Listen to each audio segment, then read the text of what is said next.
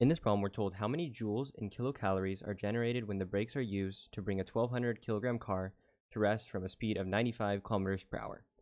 So the first thing you want to do is draw what's going on. So we have this car going 95 kilometers per hour, and we know it's going to go, right, it's going to slow down until it reaches 0 kilometers per hour. We're trying to find how many joules and kilocalories are generated uh, from the brakes, right, when this happens. And so the way we're going to solve this is by using a couple formulas. You need to realize what's going on. So the first formula you need to know is for uh, kinetic energy, right? I'm going to call it KE. Uh, the formula for it is 1 half mv squared. And so keep in mind, we're going to have some kinetic energy here, and then it's going to go to zero. And so eventually this energy is going to have to go where? Or go somewhere, right? And so it's going to go through uh, into thermal energy, right? It's going to convert all the way into thermal energy, which basically means uh, Q, right? The heat, heat energy is going to be equal to the kinetic energy. And so we know the kinetic energy, we can just calculate it here because it's going to be some value here and then zero here. And so essentially all this kinetic energy is going to be lost. So the kinetic energy is just going to be equal to the heat energy. So basically Q is going to be equal to 1 half mv squared. And so essentially what we're going to be solving for is Q. So that's what they want us to find. So Q we measure in joules. It's going to be equal to 1 half times the mass. In this case, the mass of our car is going to be 1200 kilograms. So it's in kg, so we can leave it. So 1200 times the velocity. And so when you do this, you need to make sure it's in meters per second and not kilometers per hour. So let's go ahead and convert that. So uh, 95 kilometers per hour. So we have the hour on the bottom. Let's start by getting rid of the kilometers. So we know that for every one kilometer, there's a thousand meters. So the kilometers will cancel. And then we got to get rid of the hour. And so basically 60, or there's going to be 3,600 seconds. Or sorry, this goes on the bottom. For every one hour, there's going to be 3,600 seconds. So that's going to cancel. And so we're just going to have it in meters per second, which is exactly what we want. So you're going to want to do 95, right? This is just be 95,000 divided by uh, 3,600. So I'm just going to write it like that. So uh, 95,000 divided by 3,600.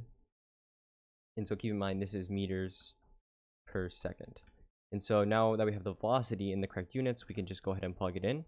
So 95000 divided by 3600 and then you're going to want to square this value. So let's go ahead and do this. Keep in mind this is just going to become 600 so you're going to do 600 times and then 95000 divided by 3600 and then square that value.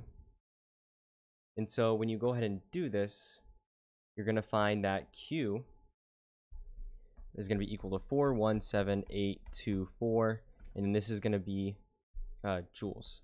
So 417,824 joules. Uh, we're just going to round, so I'm going to go 1, 2, 3, 4, 5.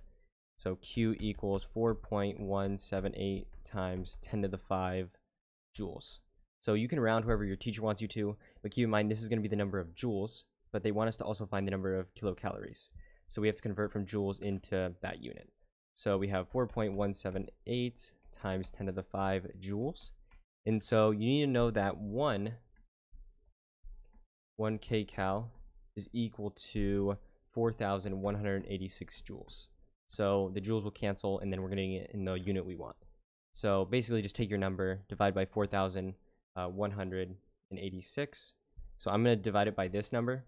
So divided by 4186. And so you're going to get it equals 99.81 and then yeah there we go. So you can round this if you want. It's basically 100 just make sure you round how your teacher wants you to.